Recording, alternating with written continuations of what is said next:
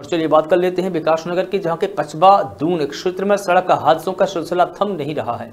Shimla bypass highway मार्ग से दुर्घटना का मामला अब सामने आया है, जहाँ कुंजा ग्रांट गुज्जर बस्ती के पास में एक अज्ञात वाहन ने स्कूटी सवार को टक्कर मार दी।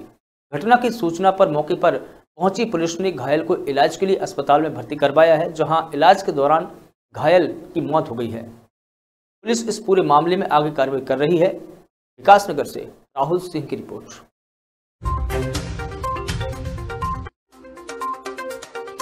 उनका बेटा आज सुबह सवा छः बजे कोई पेपर देने के लिए निकला था। हम लोगों को खबर लगी अराउंड आठ, एक बजे के करीब कि ऐसे ऐसे कोई एक्सीडेंट हुआ है।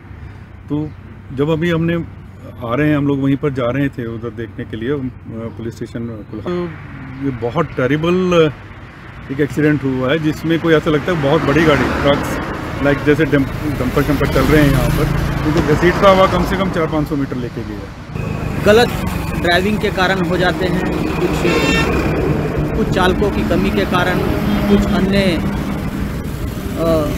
अन्य अनभिज्ञता के कारण लोग अ, जो रोड यूज़र है उनकी गलती के कारण कुछ हादसे हो जाते हैं।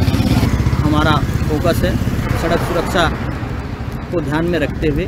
हम लगातार अभियान चला अभी जो शिमला बाईपास और अन्य जगहों पे भी जो सड़क दुर्घटनाओं के मामले सामने आ रहे हैं, इसको लेके अभी हमने एक मीटिंग कॉल की है अभी और आरटी और उनसे भी हमने संपर्क किया है। तो इसमें एक बार तो चेक कराया जाएगा कि किन कारणों से ये हादसे हो रहे हैं और इस पर अंकुश लगाने के लिए क्या क्या किया जा सकता है।